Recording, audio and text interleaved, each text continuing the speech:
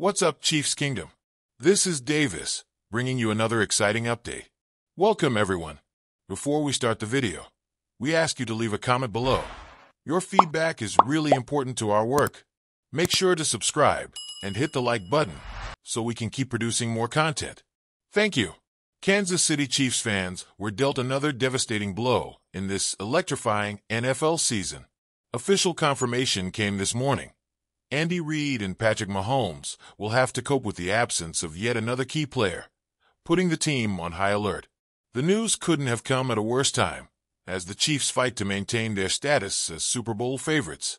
The latest victim of the medical department is one of the essential players in Mahomes' offensive scheme. The severity of the injury was confirmed after detailed examinations, and the expected return seems distant, to the dismay of the coaching staff and the passionate red-clad fanbase.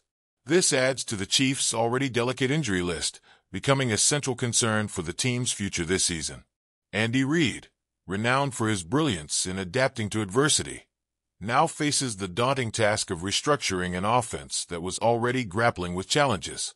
Losing another offensive weapon puts even more pressure on Patrick Mahomes, will have to rise to the occasion once again to maintain high performance and lead the team toward the playoffs. In a recent interview, Mahomes showed resilience but didn't hide his frustration. These are the moments when we need to come together as a team. We lost a great player, but we know we have the strength to overcome this said the quarterback. His words reflect optimism, but the reality is that the Chiefs' offense might struggle significantly without this crucial talent on the field. The Chiefs' ever-passionate fan base has already taken to social media to show support for the team and the injured player, flooding timelines with messages of encouragement and hope. However, the sense of uncertainty is palpable. With a depleted roster, many are questioning if the team can maintain the momentum that has kept the Chiefs at the top of the NFL. The upcoming games will be a true trial by fire for the Kansas City Chiefs.